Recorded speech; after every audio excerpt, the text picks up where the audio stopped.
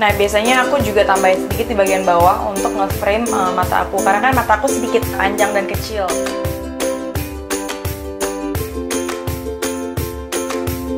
Hai guys, welcome back to my YouTube channel. Seperti yang udah kalian request, kalian kan selalu minta untuk makeup tutorial. Jadi hari ini aku mau share ke kalian sedikit tips and trick buat makeup, apalagi dalam rangka 17-an. Jadi aku mau pakai semua produknya dari produk lokal. Dan termasuk hari ini juga aku pakai kalungnya dari Lekat di Hati. Ini favorit aku banget dan aku juga pakai atasan dari brand lokal. Jadi hari ini intinya local pride. Yuk kita lihat sekarang videonya kayak apa, makeup aku kayak apa.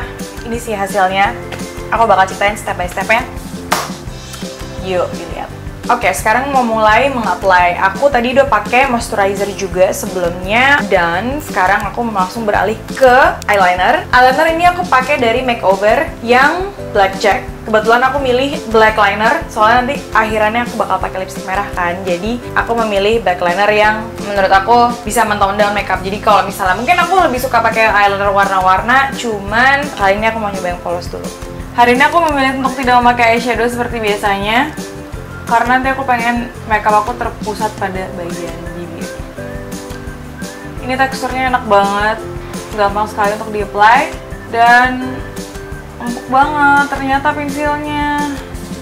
Biasanya kalau mau apply eyeliner dari luar ke dalam atau biasa dari luar setengah dulu baru dilanjutin dan jangan lupa untuk ini kan ada bulu mata nih garis bulu mata. Ini tetap harus diisi sama eyeliner supaya nggak kelihatan bolong. Jadi harus perlahan-lahan ada bagian bulu mata. Nah biasanya aku juga tambahin sedikit di bagian bawah untuk nge-frame uh, mata aku. Karena kan mata aku sedikit panjang dan kecil. Jadi supaya kelihatan lebih besar dan lebih nge-frame, lebih dramatis matanya. Jadi aku tambahin sedikit di bagian bawah. Sambungin sama eyeliner yang atas Oke, lalu sekarang aku bakal menambahkan sedikit aksen di bawah mata dengan eyeshadow warna putih. Sekarang aku pilih eyeshadow putih dari PAC. Nah, ini yang warna putih. Ini tuh dari koleksi PAC Limited Edition palette yang Color Olympic. Jadi ini warna-warnanya juga seru banget dan kebetulan ada warna putih yang aku butuhkan. Sekarang aku akan mengapply untuk membaur di bawah mata. Ya, aku pakai eyeshadow brushnya si PAC akhirnya karena aku kebetulan nggak punya eyeshadow yang kecil. Jadi ini aku ambil yang warna putih untuk aku taruh di bawah mata.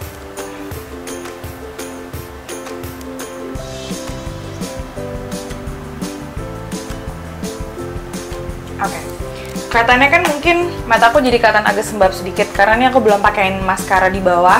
Jadi sebelum aku apply ya maskara, aku mau pakai bulu mata dulu. Ini kebetulan aku dikirimin bulu mata dari salah satu teman aku. Ini lucu banget. Aku juga baru pertama kali lihat namanya Ciglio.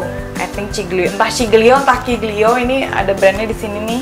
Sekarang kita pilih-pilih dulu mana ya yang cocok sama makeup aku hari ini. Oke, kayaknya aku bakal pakai yang ini, yang bawah. Jadi sebenarnya satu pak tuh ada dua lashes. Kalau aku baca di sini sih, entah mungkin bisa didobel kali ya. Cuma mungkin bisa dipakai satu-satu. Cuman aku memang hobinya kan ngedobel bulu mata. Jadi mari kita coba satu dulu.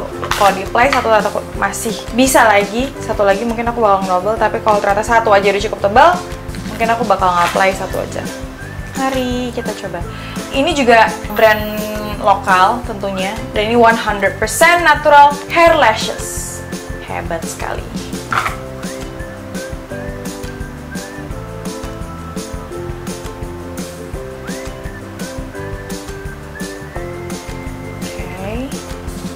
Dan ini ternyata panjangnya udah cukup pas sama mata jadi nggak perlu dipotong dan nggak kependekan juga buat aku. Kan banyak tuh kalau kita beli bulu mata kadang-kadang harus dipotong untuk dipasin sama kelopak mata tapi ternyata ini udah langsung pas kadang-kadang teman-teman aku suka nanya, "Ay kok lo cepet banget sih pakai bulu mata?" gitu kan. Ya bayangin aja aku pakai bulu mata itu kira-kira udah dari tahun 2010. Udah pakai dari 2010 dan berarti kan udah 6 tahun tuh aku selalu pakai bulu mata. Kenapa aku juga nggak extension bulu mata? Karena aku udah pernah extension dan ternyata rontok di aku. Aku emang orangnya kurang apik. Jadi suka gatel, suka aku ucek-ucek, saya rontok. Jadi aku memilih ya udah mendingan aku sacrifice dikit aku tempel tiap hari. Cuman ya ada beberapa hari-hari yang aku mau ngerasa kayak kayak gue mau istirahat dari dari bulu mata. Akhirnya aku nggak pakai bulu mata. Cuman kalau misalnya orang-orang nanya kenapa gue pakai bulu mata cepet banget karena aku pakai tiap hari. Jadi tangannya udah terlatih sekali untuk nempel. Oke sekarang bulu mata udah tertempel.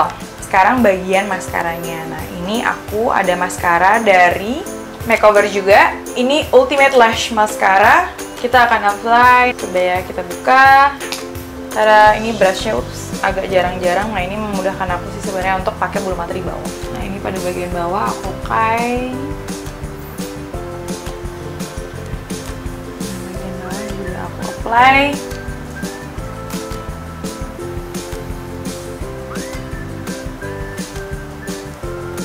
Kelihatan kan? Nah sekarang bagian alis. Kebetulan alis aku dibikin sama Mbak Anggi Rasli Local Pride juga ya. Nah ini salah satu bukunya Mbak Anggi.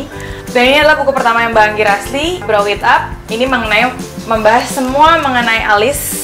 Ini hasil yang Mbak Anggi. Dan aku kalau untuk light makeup sih aku nggak perlu touch up touch up lagi. Jadi aku ngerasa aku udah pede banget dengan alis yang Mbak Anggi. Ini ada bentuk wajah kita harus mengenal dulu bentuk wajah. Habis itu juga ada do's and don'ts mengenai semua tips and trick dan juga gimana cara bikin eyebrow. Dan ini ada toolsnya kayak tweezer, sikat alis dan lain-lain. Jadi ini one of my ultimate guidance untuk membuat alis dan ini dia hasilnya. Oke lanjut dari alis sekarang aku akan mengapply blush on.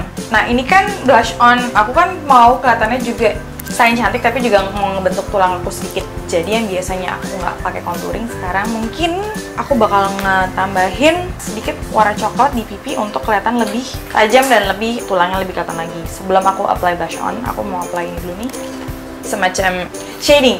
Nah ini aku mau apply sedikit shading untuk di pipi. Ini warnanya sih apa ya nggak terlalu tua karena kebetulan juga aku nggak mau terlalu kencang shadingnya jadi aku pakai sedikit tipis di sini tipis aja. Terus aku juga pernah belajar dari Harumi untuk pakai ini tuh perlu membentuk angka 3 jadi dari sini ke sini.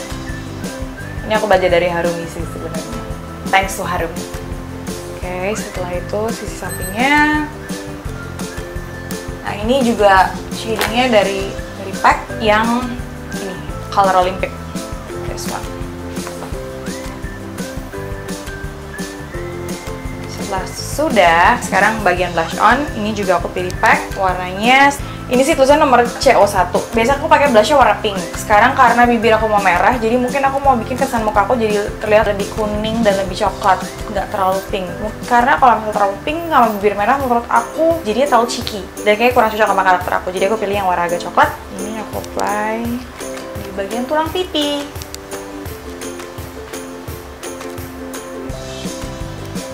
setelah mengapply blush on sekarang bagian bedak. Nah ini sebenarnya adalah two way cake, perfect cover two way cake dari makeover yang nomor 8 honey. Ini aku nggak pakai di seluruh muka, aku hanya pakai di beberapa bagian saja supaya mukanya kelihatan lebih tercover lagi. Kenapa aku nggak apply di satu muka? Karena kebetulan kulit aku lagi menten, jadi aku nggak mau kelihatan muka aku jadi putih banget. Jadi ini aku biasanya apply ini di bawah mata aja, yang akhirnya bertugas sebagai concealer sama nutupin sedikit-sedikit bagian yang berminyak Setelah sudah, sekarang bagian lipstick, my favorite part. Aku punya beberapa favorite brand untuk liquid lipstick dari brand lokal. Salah satunya adalah Rollover Reaction. Ini yang Maxwell, ini yang uh, kolaborasi sama si Ika Amels dan juga Puce. Ini kebetulan packagingnya lucu banget. Ada ilustrasinya Ika Amels di boxnya. Ini keren banget dan warnanya menurut aku sangat applicable buat semua orang dan ternyata cocok sama semua orang. Aku udah lihat beberapa orang pakai dari yang kulitnya putih sampai kulitnya gelap. Ini bagus. Terus juga one of my favorite sekarang adalah si SK juga. Nah tapi kalau ini bukan liquid lipstick ini kebetulan adalah ini matte lip liquid. Karena SK punya dua ada matte lip liquid sama satin crayon lip. Nah ini kebetulan warnanya forbidden red. Nah ini warnanya canggih banget. SK ini kebetulan punya temanku juga. Ingredientsnya vegan. Jadi tapi untuk kali ini aku bakal pakai dari BLP. Ini punyanya Lizzy Para, warna yang candy apple karena menurut aku warna spirit untuk 17-annya cocok banget sama yang ini merahnya membara. Jadi mari kita apply dan ini wanginya enak banget.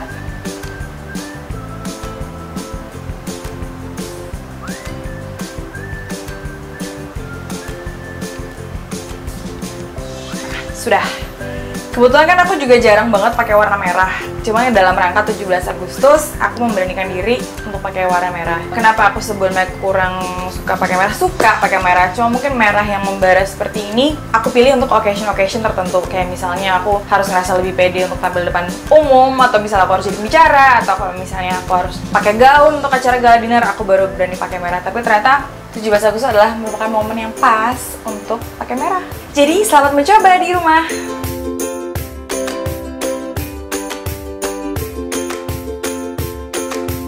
Oke, jadi itu dia yang udah aku apply buat makeup aku hari ini dalam rangka 17-an. Semoga kalian bisa nyoba di rumah dan jangan ragu untuk menggunakan lipstick merah. Dan selalu bangga sama produk lokal, selalu bangga sama produk negeri sendiri. Selamat 17 Agustus. Selamat Hari Kemerdekaan. I'll see you on next video. Bye guys.